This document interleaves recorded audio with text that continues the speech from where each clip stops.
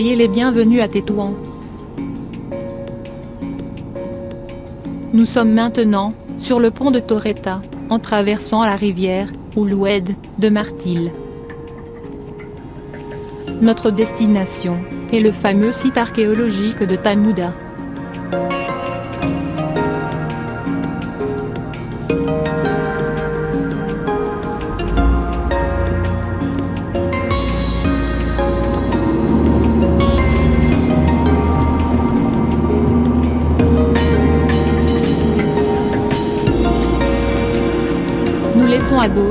Route qui mène à Torretta, et nous prenons la direction à droite, vers l'ancienne route de Chefchaouen.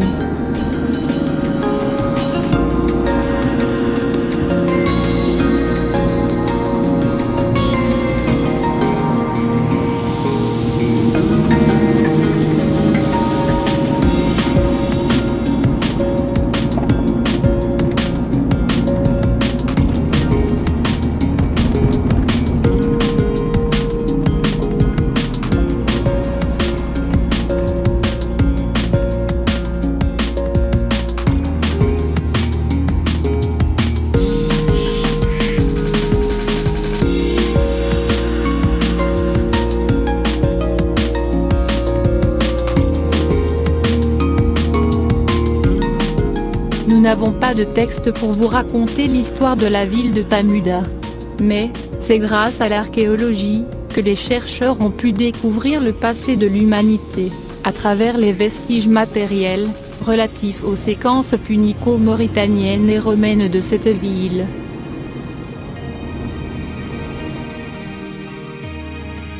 Le site archéologique de Tamuda est situé au nord du Maroc à environ 10 mètres d'altitude sur la rive droite du fleuve Martil, à 10 km de la côte méditerranéenne, et à 5 km au sud-ouest de Tétouan, sur la route de Chefchaouen.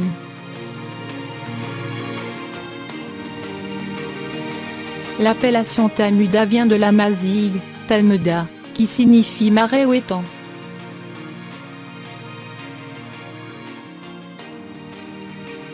Ici, fut fondée la ville de Tamuda vers la fin du IIIe siècle avant Jésus-Christ, par Baga, fondateur et premier roi du royaume de Mauritanie.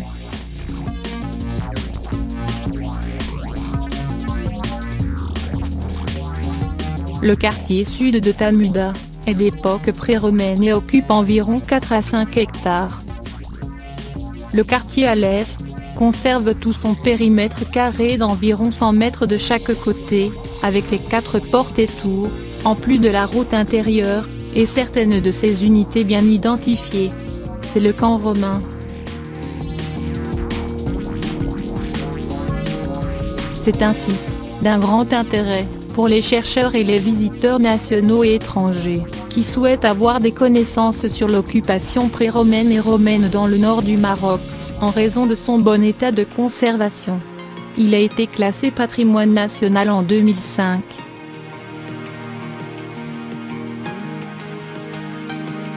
Plusieurs chercheurs ont essayé d'identifier l'emplacement de la ville de Tamuda. Mais c'est à l'espagnol César Louis de Montalban, ancien voyageur et explorateur, que revient la découverte de la ville en 1921.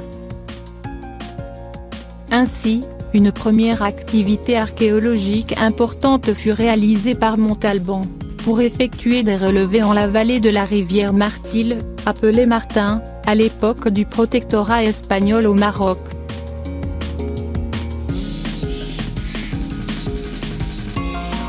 Les fouilles effectuées dans ce site, de 1939 à 1941, ont apporté un support monétaire important au musée archéologique de Tétouan, composé de 11 monnaies de Juba II, et Cléopâtre Selon, une monnaie de Ptolémée, une monnaie de Cartoya, et une autre monnaie de la ville de Lixus. La majeure partie des pièces restantes, étaient composées de pièces de monnaie romaine d'Honorius, et de Valentinien, du 5e siècle.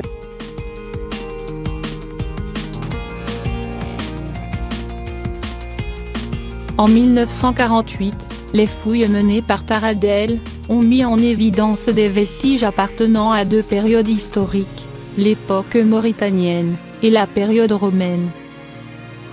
les œuvres de Taradel constituent une source de base indispensable pour l'étude de l'économie marocaine dans l'Antiquité.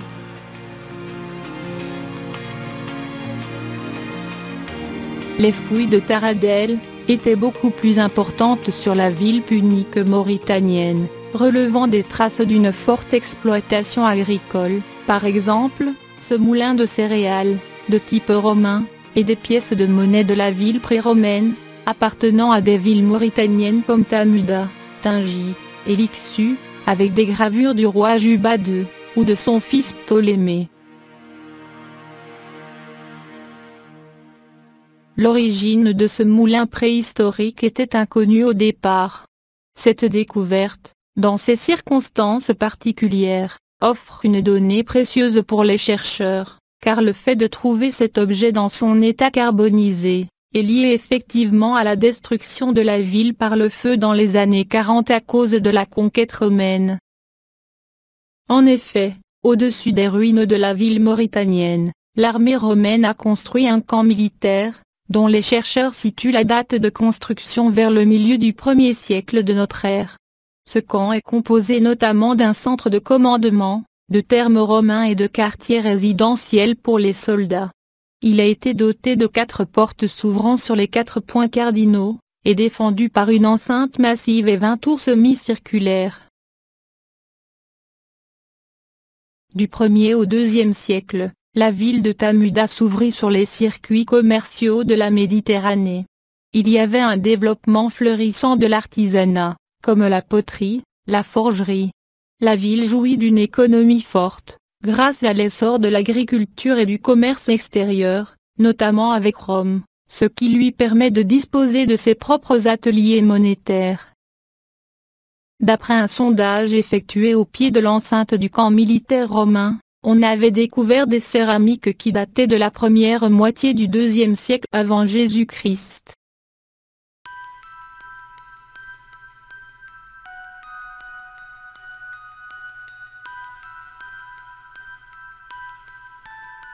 Dans la campagne de 1956, Taradel s'est intéressé à la construction du Castellum.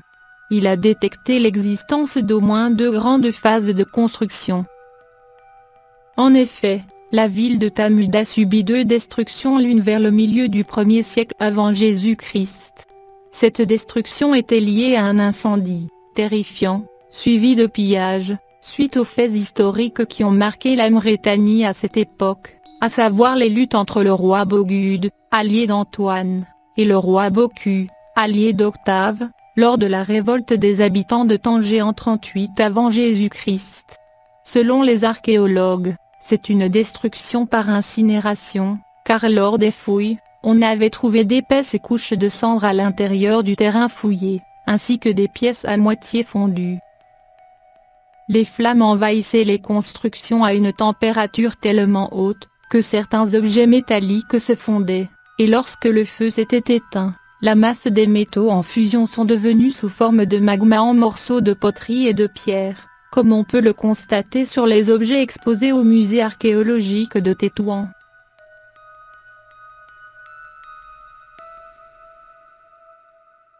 Les principaux objets exposés au musée archéologique de Tétouan, provenaient des fouilles qui avaient été menées à Tamuda et à Lixus près de l'Arrache. Certains de ces objets, étaient découverts par Montalban à Tcharjedid, et la Ilalia, comme les armes en fer, les amphores, et les monnaies anciennes. Mais, ces superbes mosaïques des trois remerciements que vous regardez maintenant, ont été découverts par Taradel, dans le site archéologique de Lixus à l'Arrache, et qui sont exposés tous actuellement, au musée archéologique de Tétouan. Nous allons maintenant visiter ensemble, ce fleuve historique de Tamuda, qui est Martil aujourd'hui, ou plutôt Oued Martil en arabe. Actuellement, le site archéologique de Tamuda, est délimité après avoir été classé et protégé par le ministère de la Culture, bien que certains monuments historiques, se trouvent en dehors de la zone protégée comme l'aqueduc que nous allons traverser maintenant. Nous y voilà. nous traversons le pont de Tamuda, qui relie la rive du nord de la rivière, à la région de Tétouan, et plus précisément, au quartier sud de Twibla.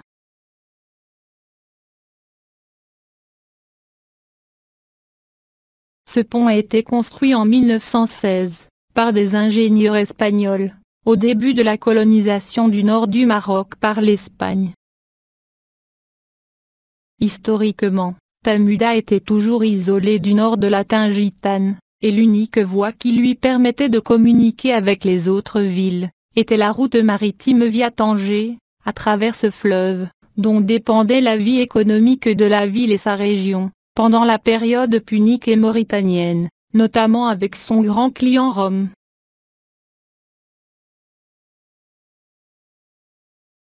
Depuis l'époque phénicienne, les habitants de la Mauritanie ont pratiqué diverses cultures agricoles. Leurs navires ronds, avec leurs proues et poupes hautes, et recourbées, et leurs voiles carrées, remontaient le fleuve ou le descendaient, chargés des denrées alimentaires comme les céréales, qui figurent sur les monnaies de la ville, et aussi le plomb, dont les mines existaient dans la vallée de ce fleuve, et le long de la côte méditerranéenne, entre l'est de Ansa et l'ouest de Septa. Les mines de plomb de Talmuda, étaient exploitées pendant la période romaine, comme l'attestent les lampes romaines, qui ont été exhumées dans les fouilles archéologiques précédentes. La ville a importé aussi à travers ce fleuve, beaucoup de céramique, et notamment, la céramique arétine, la terra sigillata hispanique, la céramique estampée, les amphores puniques et les lampes romaines.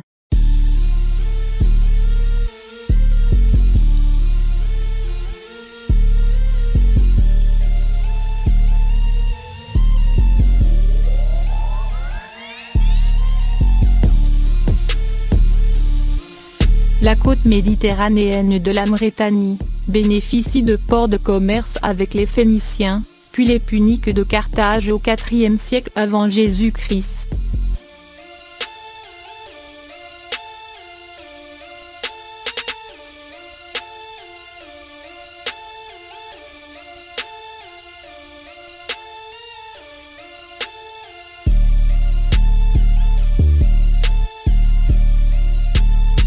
Ce fleuve, est l'un des plus importants cours d'eau permanents de la province de Tétouan. Il draine un bassin versant de plus de 1200 km, dont 981 km au niveau de la station hydrométrique du pont de Torreta, que nous avons traversé au début de cette vidéo. À l'époque du protectorat espagnol, la rivière Martin était navigable, et son port était aussi fonctionnel jusqu'en 1963. Plus tard, la situation a complètement changé, suite à une crue centennale, issue d'un mauvais entretien et de l'encombrement créé par les navires espagnols, mettant fin ainsi, à la fonctionnalité de l'embouchure de la rivière, et créé par la suite des inondations d'historique. On sait aujourd'hui, que les conditions d'écoulement des rivières au Maroc, dont la rivière Martil, sont sensiblement différentes de ce qu'elles étaient dans l'Antiquité le débit de ces rivières était plus élevé, et pour certaines, l'écoulement était permanent, comme de Sebou.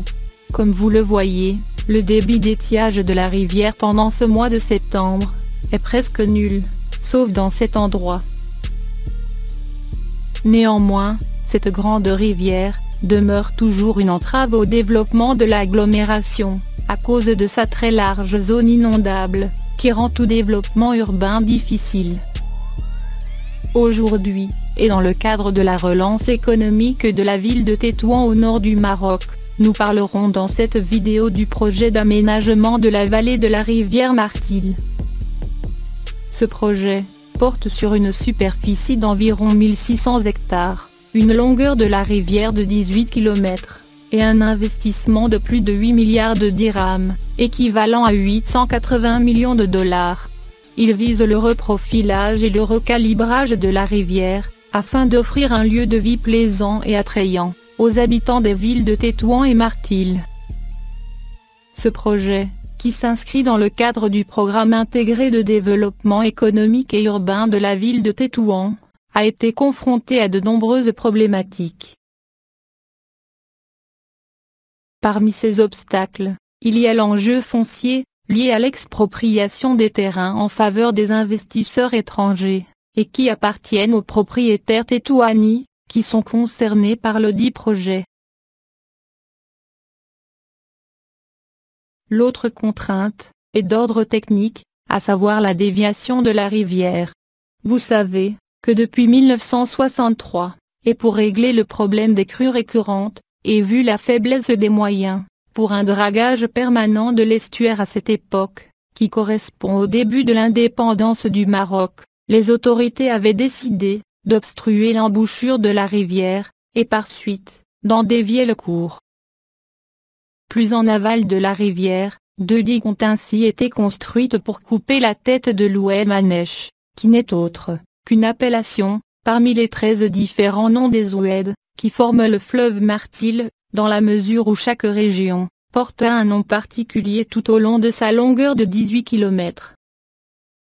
Or, à travers l'histoire, la rivière avait son chemin naturel depuis l'Antiquité. Ni les bétons, ni les roches, installées par les autorités, n'avaient pas pu empêcher la rivière de revenir à son lit initial.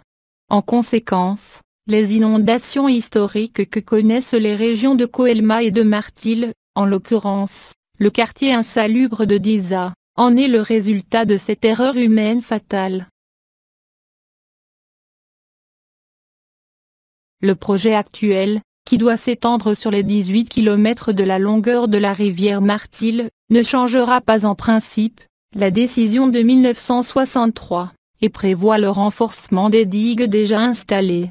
Or, si la morphologie de la rivière n'avait pas été corrigée comme elle était avant, le problème de ces inondations ne serait jamais résolu. Alors, on doit calibrer le débit du cours d'eau, jusqu'à son embouchure naturelle, afin d'arriver au but attendu du projet.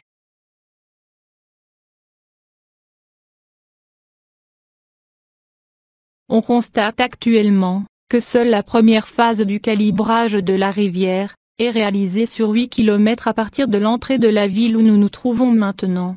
Les 10 km problématiques restants, demeurent suspendus, sachant bien, que le plan prévoit une cité lacustre dans l'embouchure de la rivière, objet du projet.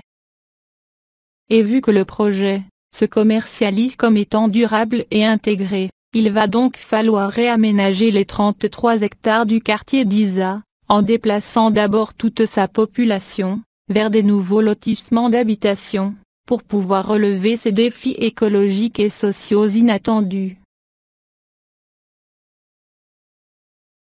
Enfin, le troisième obstacle, est d'ordre économique. En effet, pour pouvoir développer ce projet, il faut tenir en considération la demande potentielle du consommateur interne et étranger dans ce domaine touristique de grande envergure.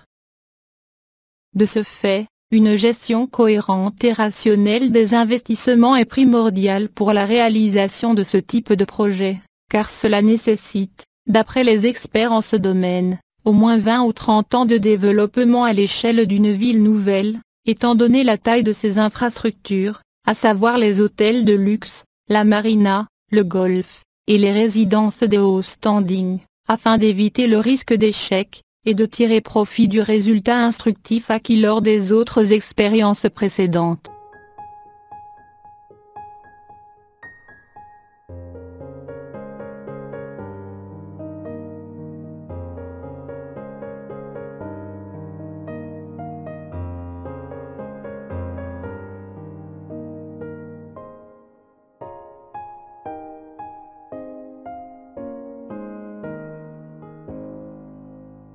Avant de vous quitter, je vous propose maintenant de regarder la nouvelle corniche de la rivière, qui rentre dans le cadre de ce projet d'aménagement de la vallée de Oued-Martil, dont je vous ai parlé tout à l'heure. Plus encore, je vous invite à visiter ce site archéologique de Tamuda, et cette magnifique rivière, en partageant ce documentaire, afin d'attirer plus de chercheurs et de visiteurs touristiques à Tétouan, pour renforcer l'attractivité de ce site et de ses zones voisines. Ainsi, prend fin cette vidéo. Merci de votre attention, et à bientôt.